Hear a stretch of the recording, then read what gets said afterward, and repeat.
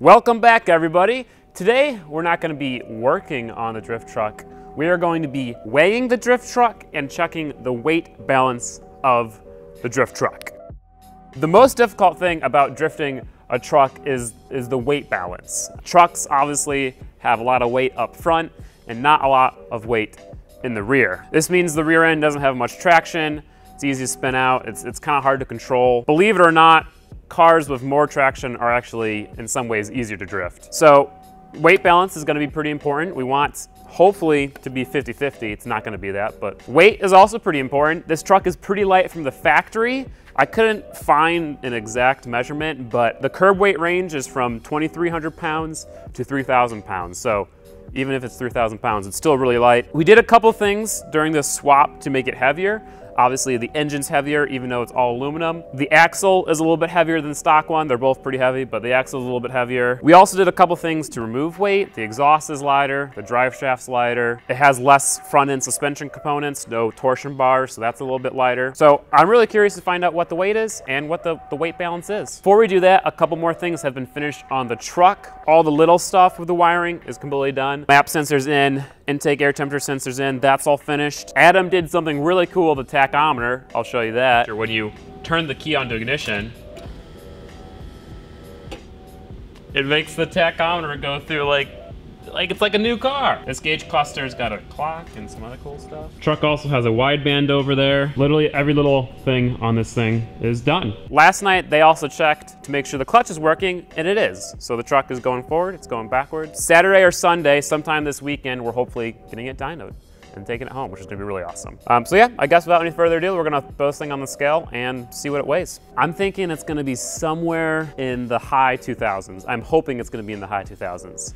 If it's in the 3000s, I'm gonna be kind of sad, but I mean, either way, it's gonna be pretty fast, so this could be cool. Excuse this interruption for a message from this video sponsor, Octane. Octane is an app that allows you to find car events all across the country. It's pretty much a giant map of the United States with events all over. Each person has their own garage and you can add your cars to your garage. So you, you add a picture of the car, you add a description, what make, what model is, you can talk about it. Now, when you find an event, you can RSVP with a certain car. If you don't know how to get to the event, you can get directions to the event. And you can even set up a cruise so you can cruise the event with other people using Octane. You guys can download the app, head over to the Chicagoland area, and you can find the event called Gingium Viewers. It looks like this. It's not a real event. I'm not hosting an event yet, but you guys can RSVP to that event with your cars that are in your garage and I can check out what you drive. It's a really cool app. Totally recommend you guys getting it. Thank you to Octane for sponsoring this video.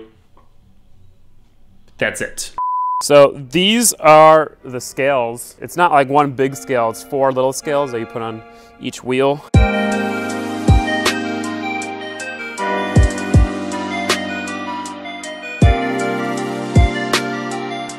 All right, so everything's working. Let's put the truck on the thing.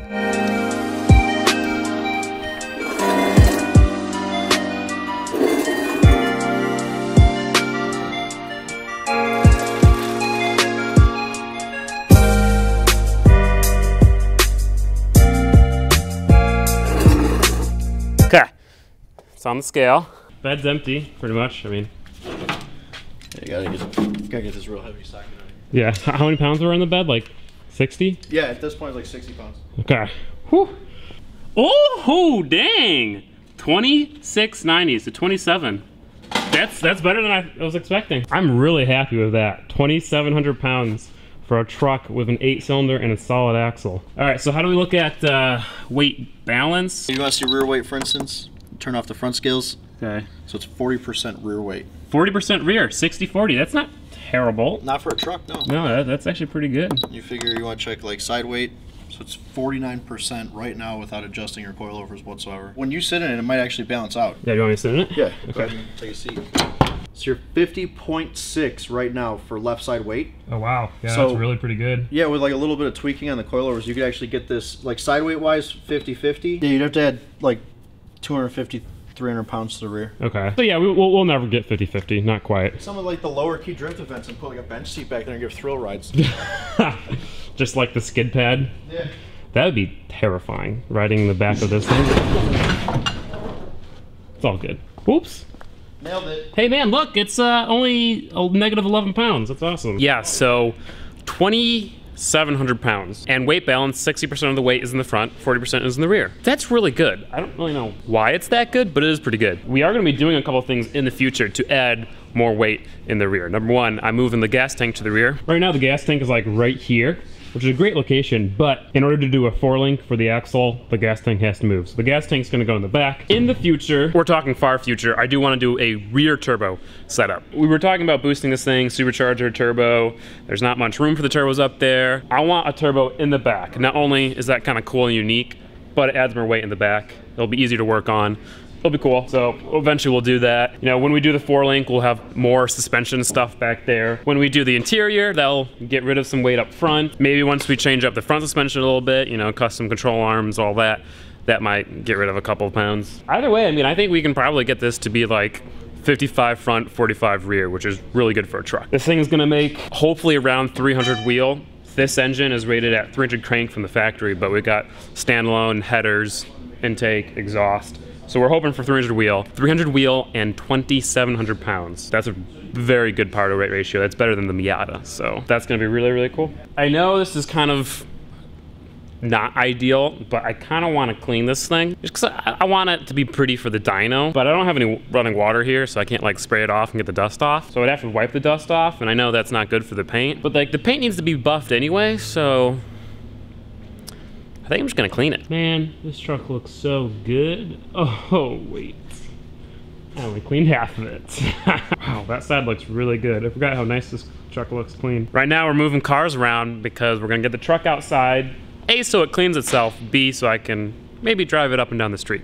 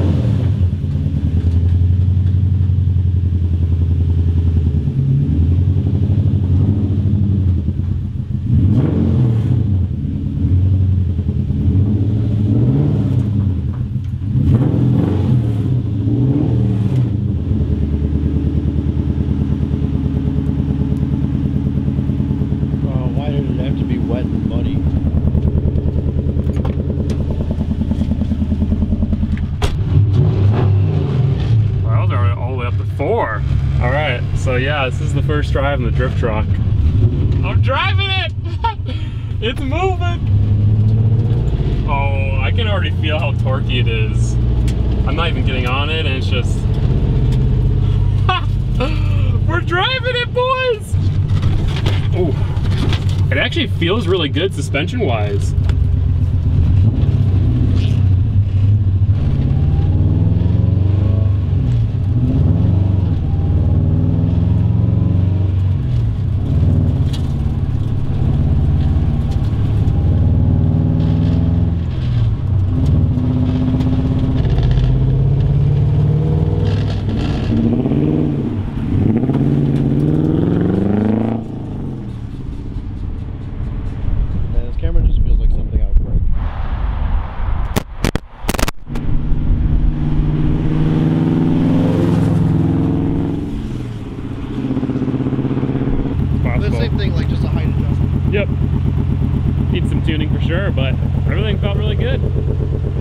was really cool.